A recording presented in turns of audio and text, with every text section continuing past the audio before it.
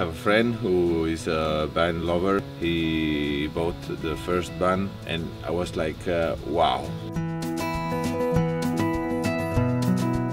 So now is our moment to take the van,